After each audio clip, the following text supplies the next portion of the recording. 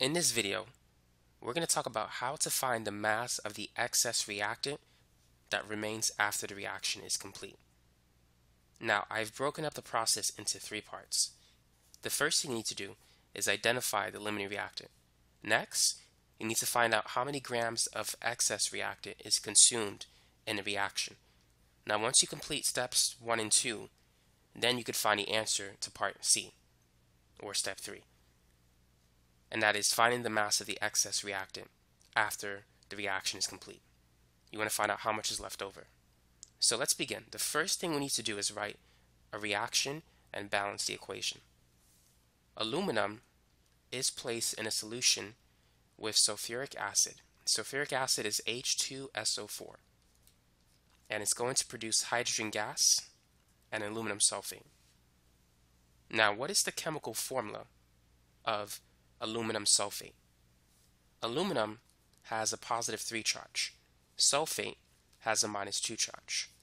So therefore the correct formula is Al2SO43.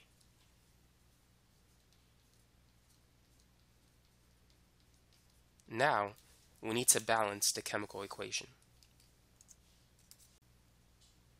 Notice that we have three sulfate ions on the right side and one SO4 unit on the left. So we got to put a 3 in front of H2SO4. So we have three sulfate units.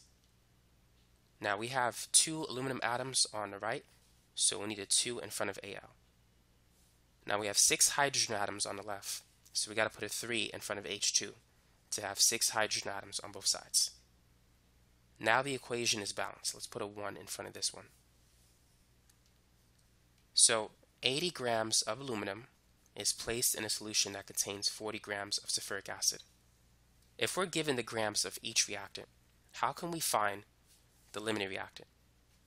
To do so, take the mass and divide it by the molar mass. The molar mass of aluminum is 26.98. When you divide the mass by the molar mass, this will give you the number of moles. So we have 2.9 0.65 moles of aluminum.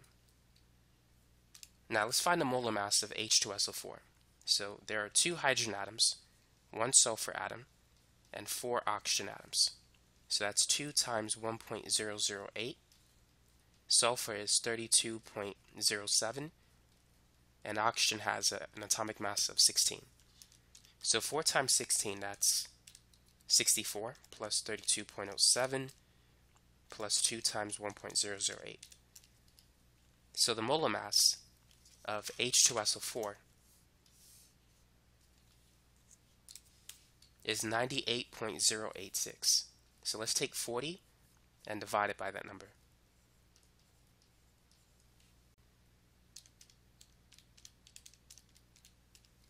So this will give us 0.4078.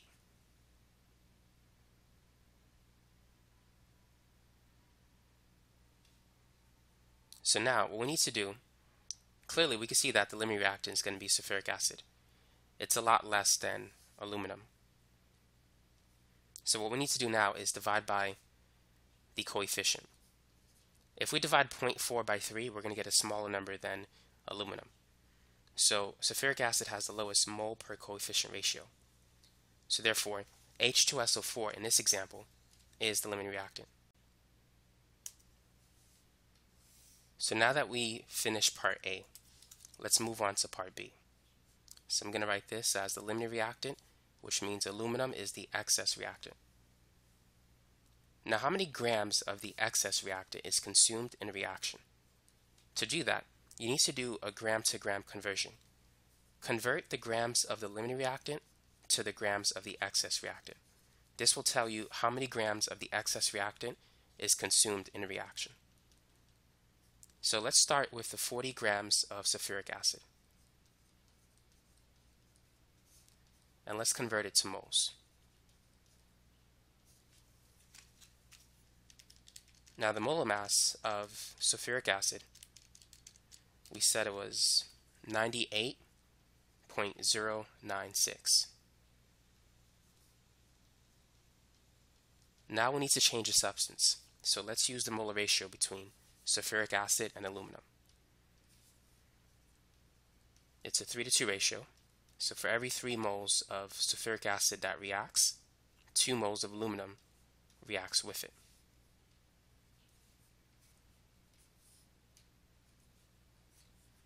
Now let's convert moles of aluminum to grams using the molar mass of Al, which is 26.98.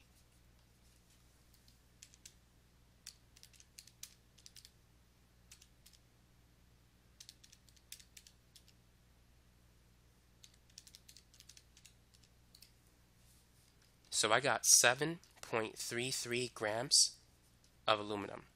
So this is the answer to part B. That is the amount of excess reactant that is actually consumed in this reaction. So that's how much aluminum is used up in this reaction. So if 7.33 grams of aluminum is consumed in a reaction, what is the mass of the excess reactant that remains after the reaction is complete? Let's make some space.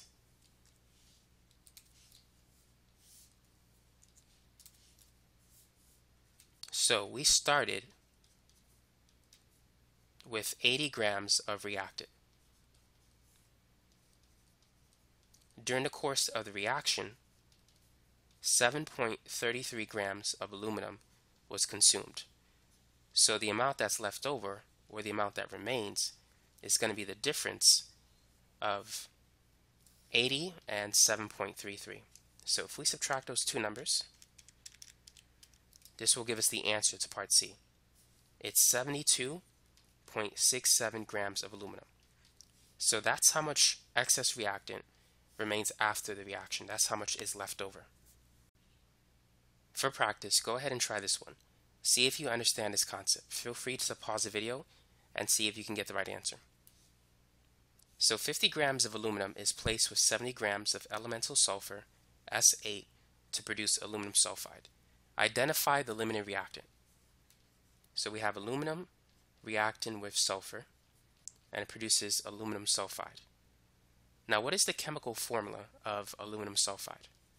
Aluminum has a positive 3 charge, sulfur has a negative 2 charge. So it's going to be Al2S3. Now we need to balance the chemical equation. The least common multiple between 8 and 3, or just 8 times 3, is 24. So we need 24 sulfur atoms on both sides. Let's put a 3 in front of S8 and an 8 in front of S, Al2S3. So we have 24 atoms of sulfur on the left and on the right side. Now 8 times 2 is 16, so we need a 16 on the left. So now the number of aluminum and sulfur atoms are the same on both sides. Now we're mixing 50 grams of aluminum with 70 grams of sulfur. Which one is going to be the limiting reactant? Is it the one that has less grams or more grams? Is it aluminum or sulfur? What do you think? Well, first, let's find the moles of each substance. So let's take the grams and divide it by the molar mass. The molar mass of aluminum is 26.98. And for sulfur, it's going to be 8 times the atomic mass of sulfur, which is 32.07. So the molar mass of the S8 molecule is 256.56. 50 divided by 26.98, that's 1.853 moles. And 70 divided by 256.56, that's 0.2728 moles. So which one do you think is the limiting reactant at this point? Is it aluminum or sulfur? We have a lot more moles of aluminum. But let's see. Now that we have the quantity of aluminum and sulfur, we need to divide it by the coefficient. The coefficient in front of aluminum is 16. In front of sulfur, it's 3. So 0.2728 divided by 3 is 0.0909. 1.853 divided by 16, that's 0.1158. So in this case, sulfur is the limiting reactant. It's close to aluminum, but it has the lowest mole per coefficient ratio. So even though we had a greater amount of mass of sulfur, doesn't mean it was a limiting reactant. You can't look at the grams and determine the limiting reactant. You need to find the lowest mole per coefficient ratio.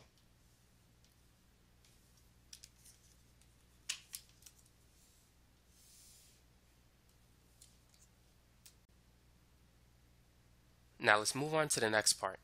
How many grams of excess reactant is consumed in this reaction? So we know this is the limiting reactant and this is the excess reactant. To answer part B, take the grams of the limiting reactant and convert it to the grams of the excess reactant. If you do it this way, the grams of excess reactant that you get should be less than how much you started with. If you try to do it the other way, you probably get more than the other reactant. So just always start with the limiting reactant. So we're going to start with 70 grams of elemental sulfur. And let's convert it to moles. So we know that the molar mass is 256.56. And now let's change the substance from the limiting reactant to the excess reactant using the molar ratio. So for every 3 moles of sulfur that reacts, 16 moles of aluminum will react with it. Now let's convert moles of aluminum to grams using the atomic mass of aluminum, which is 26.98.